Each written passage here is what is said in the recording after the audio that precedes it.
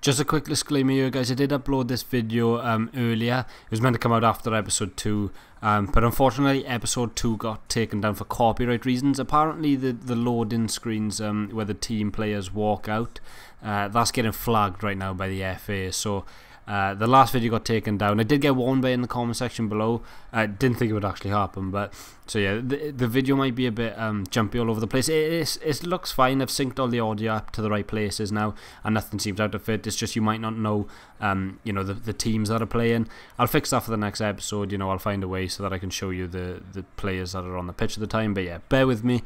Uh, next episode should be all fine and dandy. What's going on guys, this is Alec here and welcome to episode 3 of my Swansea City career mode. Uh, bear with me for this episode, I've got a bit of a cold. I did have a look through a lot of the comments of the last two episodes and I've taken your opinions and uh, recommendations on board. Uh, a few people said Ben Woodburn. Definitely am interested in signing him for the Swans, but he's recently moved to Liverpool so I can't make a move for him just yet. This is going to be a tough game against Man United. I struggled last game, excuse me, against Southampton where we drew 1-1, um, which wasn't a bad result, you know, away from home.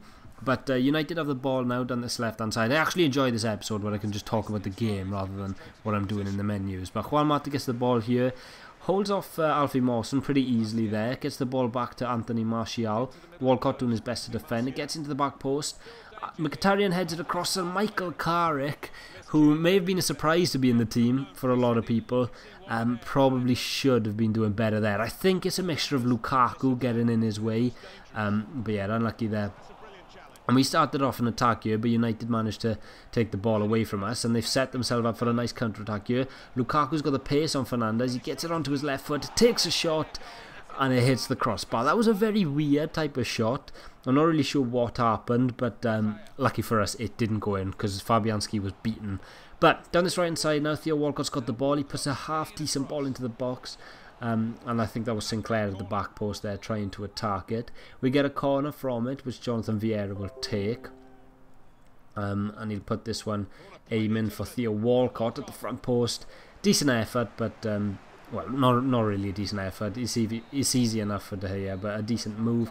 And uh, that's the first half. Bit of a stalemate, nil nil at half time, which I was kind of okay with. United probably had the better chances um, as they start off the second half here in good spirits. 56 minute now. Lukaku puts a dangerous ball into the box. Anthony Martial's trying to get to it. It falls out to Matic, I believe that was on his weaker foot never really going to test Lucas Fabianski. But Mkhitaryan on his left-hand side, uh, Jonathan Viera did end up fouling him, but is still United on the ball. Mkhitaryan, good run down the line from Juan Fran, who puts a ball into Anthony Martial.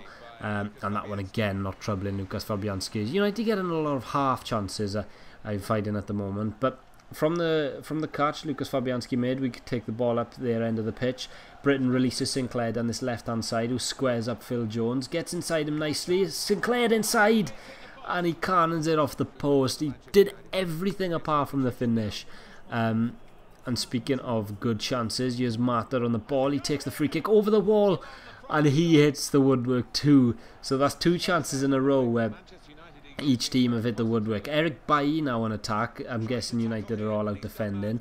Uh, Alfie Mawson does well to take him off the ball. Leon Britton still playing up in, in this 86th minute. Uh, plays a ball to Raphael, who strides forward. Pogba trying to chase him back. Is still Raphael on the ball with a decent chance here. He tries playing in Wilfried Bony. It was actually um, Renato Sanches who doesn't manage to get on the end of it. Coming to the end of uh, the game now, we get out to Baba Rahman and into Viera, Viera into Sanches, who's in a bit of space, and Renato Sanches in the 89th minute puts Swans up 1-0. Um, he goes over to celebrate with the fans, the new feature on the game. Raphael pushes him into the fans there to celebrate. Um, you'll see from this Debatably, De Gea could have done better. As you can see, it's a nice player. Guess it comes into Viera, and it's just a wide open space. It's not too far in the corner, um, as you'll be able to see from these replay angles here. Um, he just hits it with a lot of power. I mean, I think it's harsh to say that De Gea could have done better because the defence was awful. But um, yeah, you can see the celebrations there, Renato Sanches. Straight after this goal, I think I switched to five at the back, put Kyle Bartley on um, as a third centre half and um, fortunately for us we're not going to need it because there's where the game ends we beat United at home 1-0 um, I think we lost that one 4 0 in real life, so it's a bit of an improvement from that. But uh, yeah, Renato Sanches coming on off the bench and scoring in the 90th minute. Quite the way to make your home debut, so uh, I was very happy with that one. Nothing happened between that and the next game, which is Southampton away from home. I'm lying, it's Crystal Palace away from home. Bear with me, this footage is a little bit like sort of corrupt. So quite a few new changes. Um, I decided to put uh, Ki Sung-yueng in there as opposed to Roque Mesa. Roque Mesa and Britton started the last game. I thought I'd go a bit more defensive against United. And Crystal Palace, I knew we are going to be playing five at the back with, um, you know, only two central midfielders. I know that you couldn't really see that highlight there, but the replay should um, clear it up. Van Aanholt gets a good connection there and um, very good save actually from Lucas Fabianski. But back to what I was saying with the midfield, uh, I knew Crystal Palace would be very defensive, so I wanted to get as much ball playing midfielders in the team as I could. So that's why Ki Sung-yueng. Uh, Renato Sanches were playing. Obviously, Jonathan Viera, I want to get him in the team a lot. But this was a, what a lot of the game was you know, try, on the edge of the box, trying to conjure something up, trying to take our time, play the right pass. As you can see, Jonathan Viera very much in the middle of it all. Renato Sanches on the ball now into Jonathan Viera, back to Renato Sanches, to Baba Rahman. Renato Sanches now into Wilfried Bony, who flips around the corner. Ki Sung-yueng, Ki Sung-yueng on his left foot, and it's a great finish into the bottom corner. And uh, it pretty much, that's what we needed. The 1-0 to go, you know, a goal up early on. I knew Palace would sort of have to push up the pitch. Obviously, with it being nil-nil, the more it goes on, the more chance they've got, got of counter-attacking us. But it's a very decent first touch there from Ki Sung-yueng, who gets it onto his left foot. Um, and he finishes it into the bottom right hand corner with a very decent finish. Nice passing as well. I think if you look back, we didn't really lose the ball too much during that play, but um, yeah, I was happy with that one. Ball into now Jonathan Viera into Wilfried Bony, who just holds it up. Renato Sanches now goes for the shot, misses, and gets the rebound very luckily. I believe it was Tomkins that got the block, and I'd be guessing. I think it was James Tomkins that got a block on the first shot, which looked like it was going in. Um, and as you see here, unfortunately, it just sold the keeper an absolute boot. And um, he fell on the floor as an open goal. It was actually Van Aanholt that got the block, so I was wrong. But um, yeah, an easy goal for Ronaldo Sanches. Keep a die for that one as well, the wrong way. Um, but regardless, we'll take it, and uh, we go 2 0 up in this game. Palace creating some chances of their own. Joel Ward down this right hand side. They've got Benteke in the box, who we'll actually aim for. Benteke won't get there. I think it was actually Townsend that got a connection on that, but it was an easy save straight at Fabianski in the end. I think we would have had more danger if uh, if it went to a, um, a Benteke header. But more of this attacking play on the edge of Crystal Palace's box. Baba Rahman into Ki Sung-yueng. Ki Sung-yueng into Sanches. Bony back into Viera. Viera with a shot. And Viera with a finish. He's got himself a goal um, on his third. Oh, of course, he scored on his debut as well. That's two goals in three games for Jonathan Viera. Obviously, he made the assist last game for the crucial goal against United. But again, this is just very good play. Uh, the midfielders playing off Wilfried Bony. Wilfried Bony hasn't scored in this game, but he's been a very influential part. And that's what I like. You know, putting the ball into a good target man up front and um, him laying off people running on, which is why I like Viera. He makes them forward runs. Obviously, you've seen it with Ki Sung-yueng and Sanches this game too. QPR, um, Crystal Palace with another good chance. Debatably should have done better there. He had a lot of time to take that shot and he took it first time. Fabianski called into action and made a good save. 45th minute now. Coming up to the second half, as you could see here, we're still attacking down this right hand side. Narsingh puts a good ball into the box, into Wilfried Bony, who finishes first time. And I was really happy with that goal actually because it's nice play. As you can see, Ki Sung-yueng there just feeds it outside and Narsingh puts a perfect ball. He literally puts it on a plate for Wilfried Bony, um, who's only just got to really get it on target from that distance. And uh, yeah, that's how the first half is going to end 4 0 away from home at Selhurst Park. I won this one 2 0 in real life, um, but yeah, I knew I didn't really have to do too much now this game. I mean, the game, the, what am I talking about? The game is set in March at this point 4 0 uh, against Palace, who aren't really um, you know, testing me at all uh, at the back. I mean, I mean, they've had a good couple of chances, but nothing's been too threatening.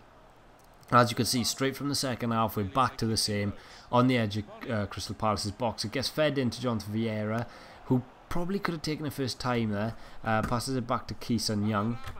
And we're just playing with it on the edge of the box now. Ki Sung-yueng still got the ball. Probably looked at that pass into Bony at one point or another. There he is, into Renato Sanches. Sanches shoots and it's 5 0. Two goals from Renato Sanches, that's three in his last two games. He's looking at talent. I was kind of sceptical about playing him a lot this season because he's obviously on loan, but um, he's looking good. And as you can see, it's just that pass into Bony, facing away from goal, who feeds it off to his midfielders. And when I am playing with a team like this, like, you know, last game I played with Britton and Mesa, I've not really got this attacking threat, but with Renato Sanches and Ki Sung-yueng being very, very good sort of all-round players. Uh, it gives them the chance that when you know Bony does get the ball and holds it up, um, as you can see, a players playing off Bony. Narsingh probably could have done better, and um, we get a decent chance again there with Bony laying off Viera. Um, it's it's it's a nice system to work with because Bony's such a very good target man, obviously very strong. The players can play off him, but uh, late on in the game now, 85th minute, Fabianski catches the ball off an easy uh, set piece, and Narsingh releases Abraham, gets the pace of the defenders. Abraham one on one with the keeper, and at first I thought he skied it, but it turns out to be a very, very good save from the keeper. Regardless of it being a good save, as you could see there, he just gets a fingertip last second. Um, Narsingh, pro, uh, Narsingh Abraham probably should be finishing that, but you know maybe that's me to blame. Maybe I chose the wrong shot to take. But um, this is my first time playing with Abraham. Oh, actually, he came on as a sub in the United game, and he's looking sharp. I did try and get him a goal at the end there, but that was a that's actually a great. I think that was Narsingh that that uh, won the header, and another great save from the keeper. But he did concede five. We conceded nothing. So a 5-0 win away at Selhurst Park as we say Roy, shake Roy Hodgson's hand. Um, and that's all for this episode. Uh, it's been nice to get a couple of games in. I'll um, I'll probably be uploading every other day. That's my plan. But uh, yeah, thank you all for watching this episode and see you next time.